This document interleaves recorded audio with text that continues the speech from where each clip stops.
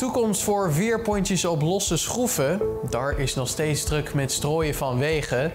Een inschrijving voor de 105e Vierdaagse is geopend.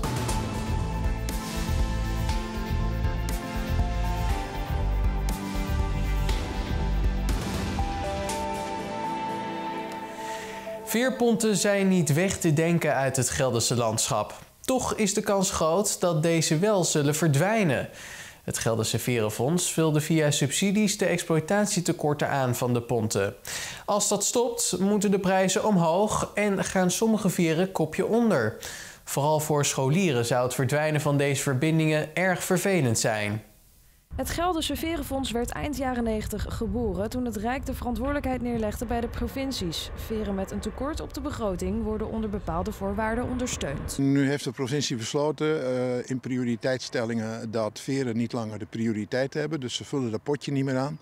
En aan het eind van dit jaar is het Verenfonds leeg wij, en dat is niet alleen het Drielse veer, maar dat zijn alle veren in Gelderland. En dat is ook een landelijke coalitie uh, van allerlei partijen, waaronder de Fietsersbond en de Vereniging Vrienden van de Veerponten en de ANWB. Wij zeggen dat is eigenlijk niet, niet zo logisch. Want je moet eigenlijk uh, veerponten, zeker in een uh, rivierrijke provincie als Gelderland, die moet je zien als varende bruggen. Uh, en het veer waar jullie nu zijn, Drielsveer, dat is uh, vijf dagen in de week ook een varend schoolplein. En die scholieren moeten heel veel omrijden uh, als dat veerpontje er niet meer is. Nou zal het niet gelijk verdwijnen, maar die bijdrage van de provincie is voor de voor de veerponten waar dat voor van belang is, ja, die is heel noodzakelijk. De Drielse veerdienst vormt de verbindende schakel in tal van veelgebruikte fietsroutes. Scholieren zouden kilometers moeten omfietsen als deze voorziening wegvalt. Ik uh, ben al uh, twee jaar mee aan het varen.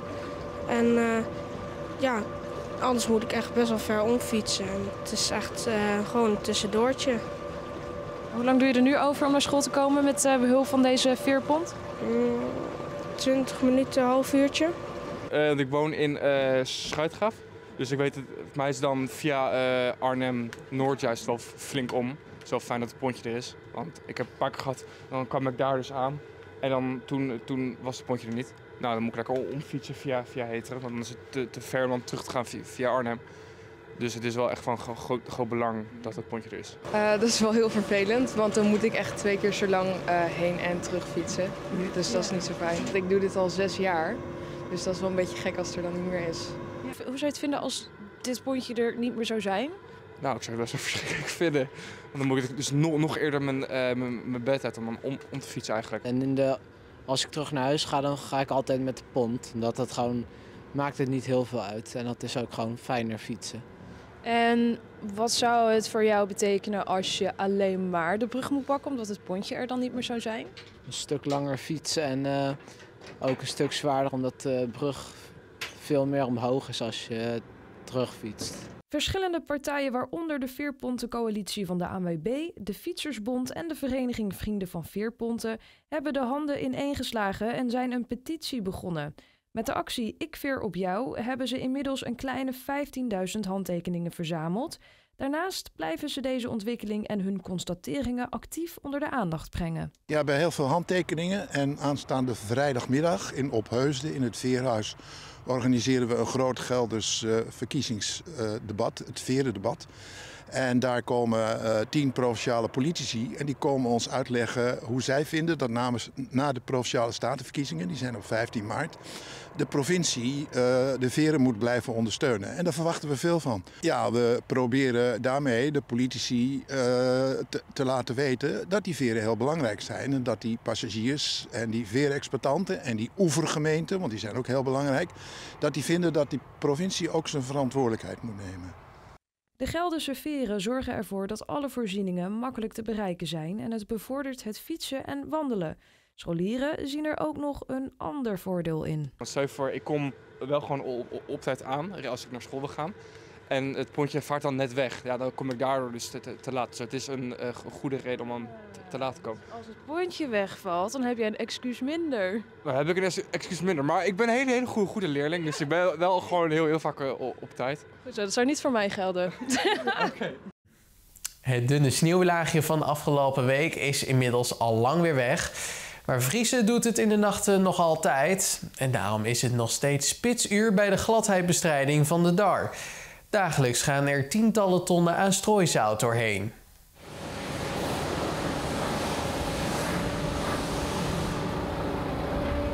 Achter de feiten aanlopen heeft natuurlijk weinig nut. Dus wordt er bij de DAR altijd zoveel mogelijk vooruitgekeken als het op strooien aankomt. Het belangrijkste moment is dat je strooit voordat het glad wordt. Uh, we strooien in principe altijd preventief.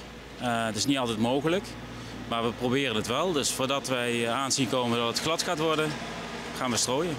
De weersomstandigheden zijn een belangrijke speel in het bepalen van de hoeveelheid zout dat gestrooid gaat worden maar dat aantal kan flink oplopen. Als er veel neerslag is, sneeuw of de weg is heel nat, dan kiezen we voor de hoogste eh, dosering. En dan gaat er met een volledige strooiactie ongeveer een 50 eh, ton eh, strooisout doorheen. Belangrijk is in ieder geval dat er goed wordt gekeken naar welke plekken de meeste aandacht vragen en om de grootste risicolocaties als eerste aan te pakken. Stalen bruggen die gaan als eerste onderuit. we hebben ook specifieke stooiroutes waarbij we dus een onderscheid maken van uh, de koude plekken, uh, de viaducten, bruggen. Uh, met een volledige actie wordt uiteraard alles gestrooid. Maar de stalen bruggen die worden in principe het meest gestrooid omdat die als eerste onderuit gaan. Die kunnen al heel vroeg in de winter kunnen die al onder nul gaan. En wat wordt dan het minst gestrooid? Minst gestrooid, ehm, dat zijn de plekken die het warmst wordt, uh, die, die de meeste warmte vasthouden. Dus dan moet je denken aan zwart uh, asfalt, dicht asfalt. Bijvoorbeeld een hoofdweg die de hele dag in de zon ligt, die lekker warmte opneemt en die uh, wordt het minst snel glad. Hoe goed de medewerkers van de DAR hun werk ook doen, ze blijven altijd een beroep doen op de voorzichtigheid van de weggebruiker zelf. Wat we merken is dat mensen, of weggebruikers, denken dat altijd uh, de weg glad, uh, uh, niet glad is. Maar ja, let altijd op, vooral met ijsel, met sneeuw. dat zijn hele lastige situaties om dan de gladheid te bestrijden. Dus let erop met je rijgedrag.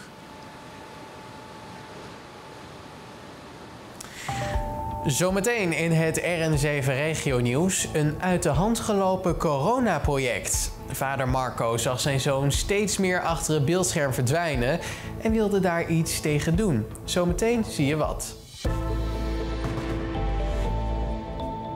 De eerste inschrijfperiode voor de 105e editie van de Nijmeegse Vierdaagse is vanochtend geopend. Tot vrijdag 10 februari om 5 uur s middags kan iedereen zich inschrijven die de wandelmars al eerder heeft uitgelopen of die geboren is tussen 2005 en 2011. Mensen van een ander geboortejaar die de Vierdaagse voor het eerst willen lopen, kunnen zich vanaf 13 februari tijdens de tweede inschrijfperiode aanmelden. Het inschrijfgeld van deze editie bedraagt 109 euro en voor het eerst geldt het wie het eerst komt, wie het eerst maalt principe. De 105e editie van de Nijmeegse Vierdaagse vindt plaats van 18 tot en met 21 juli. De uitspraak van de Raad van State rondom de railterminal langs de A15 bij Elst is uitgesteld. Maandag 28 november jongsleden vond de zitting plaats en doorgaans doet de Raad binnen zes weken uitspraak. Er werd op voorhand al aangegeven dat deze uitspraak meer tijd zou vragen. Nu is duidelijk dat er nog eens zes weken bij komen. Daarmee zal de uitspraak uiterlijk 20 februari worden gedaan. De buurtsuper van Johan Cornelissen op Alverna is sinds afgelopen zaterdag definitief gesloten. Ruim 22 jaar stond hij dag en nacht klaar voor de inwoners van het dorp. Maar inmiddels was hij niet meer opgewassen tegen de concurrentie van de grotere supermarkten. Een familielid heeft inmiddels een crowdfundingsactie opgezet om de restschuld van de winkel mee af te betalen. Hiermee is al meer dan 10.000 euro ingezameld. Mariette Mensik is de winnaar van de Burgemeester Dalesprijs 2023.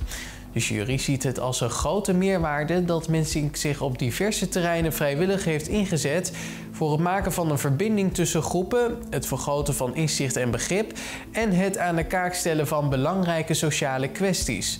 De burgemeester Dalesprijs bestaat uit een oorkonde en een geldbedrag van 500 euro. De prijs is bedoeld ter ondersteuning van mensen die zich belangeloos inzetten voor de emancipatie van minderheden en bestrijding van discriminatie. Aanstaande vrijdagavond wordt de prijs uitgereikt in het Nijmeegse stadhuis. Geduld, goede concentratie en een soepele duim. Dat heb je volgens Marco Nillissen en zijn zoon Mika nodig om te racen op de eerste Nijmeegse bestuurbare racebaan. Zondag werd het circuit geopend tijdens een open dag.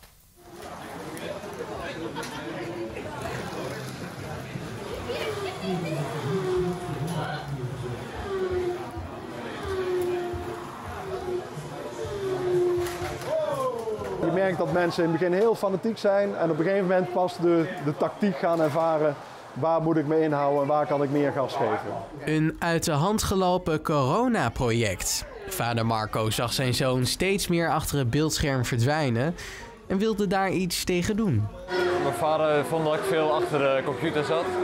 Dus uh, hij wou me een beetje ervan afhalen. Je merkte in de coronaperiode dat hij toch wel ja, behoorlijk down werd, uh, achter het beeldscherm zat, de verveling sloeg toe. Bij mij ook, want mijn werk was ook een stuk minder. En toen hebben we ja, eigenlijk de stoute schoenen aangetrokken. De kleine baan die twee jaar lang in de huiskamer lag. Op een gegeven moment uit de huiskamer gehaald en hier in een uh, iets grotere vorm in, in de hal neergelegd. Marco heeft genoten van de afgelopen tijd, waarbij hij samen met zijn zoon aan de racebaan bouwde. Ik ben zelf opgegroeid in een timmerbedrijf. En daar stond ik op mijn 14 stond ik al achter een, een lintzaag en een Van Diktebank en zo.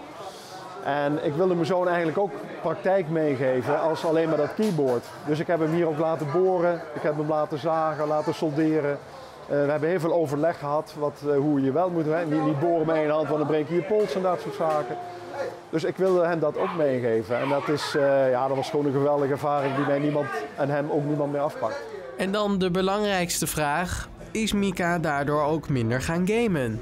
Ja, dat is wel gelukt, ja. Want uh, we zijn bijna ieder weekend hier geweest. Maar zijn vader denkt daar anders over. Uh, dat zal ik niet zeggen. nee.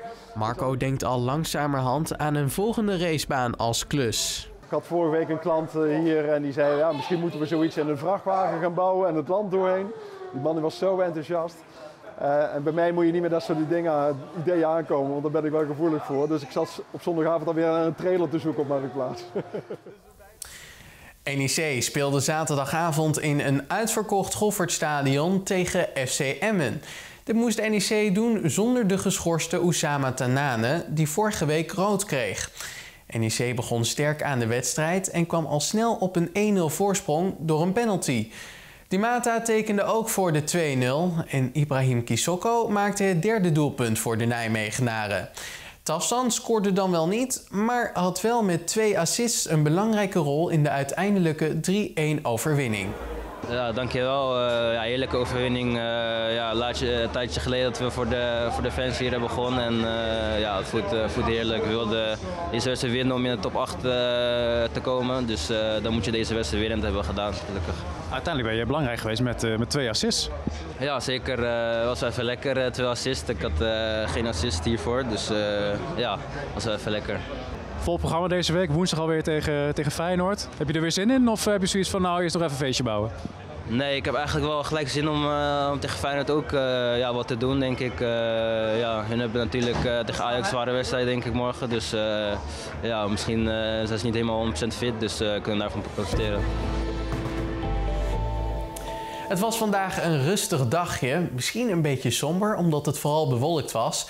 Maar het bleef droog en er stond nauwelijks wind. Wel was het wat koud met zo'n 2 à 3 graden in de regio. Dinsdag blijft ook een beetje grijs, maar de zon zal zich dan net even iets vaker laten zien. In de ochtend kan het lokaal nog wat licht vriezen, dus er is een kans dat autoruiten even goed gekrapt moeten worden. Ook in de nacht naar woensdag gaat het weer een paar graden vriezen, maar het blijft gelukkig wel droog. De dagen erna neemt de kans op een winterse bui iets verder toe. Het blijft wat wisselvallig en in de hoger gelegen gebieden kan eventueel wat lichte sneeuw vallen. De temperatuur blijft schommelen rond de 4 graden. Tot zover het RN7 Regio Nieuws van vandaag. Voor het terugkijken van onze uitzendingen kun je terecht op ons YouTube-kanaal en volg ons ook op Facebook, Twitter en Instagram. Voor het laatste nieuws kun je altijd terecht op onze website rn7.nl. En wij zijn er morgenavond weer. Graag tot dan.